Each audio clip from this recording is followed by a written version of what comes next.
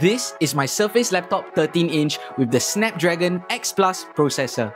It's got great performance, amazing battery life, and on-device AI. But does it actually just work? Copilot Plus PCs add a third brain called the NPU. Now this handles all the AI tasks so that your CPU and GPU are free to do other things. Now, what this means for you is even better performance and all-day or even multi-day battery life. So you don't have to go looking for a charger when you're out and about doing things that matter. Most apps already work natively on ARM.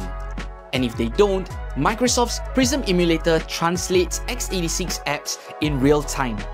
Now, in practice, this means that you don't have to change anything in your workflow. For me, everything just worked. Copilot Plus PC AI features show up on these devices first. Features like click to do, recall, and improved Windows search land on these devices first.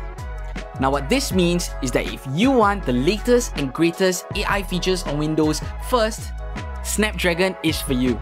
Thanks to Mopria's universal print standards, thousands of wireless printers just work. And that means no more driver treasure hunting. And if you purchase your printer within the last 5 years, chances are it's just going to work seamlessly.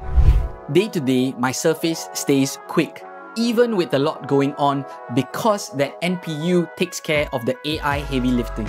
I also get the latest Copilot Plus PC AI features and my apps, they just work and with up to 23 hours of battery life on my Surface laptop 13 inch, battery anxiety is a thing of the past and I never worry about forgetting my charger because I don't even need it.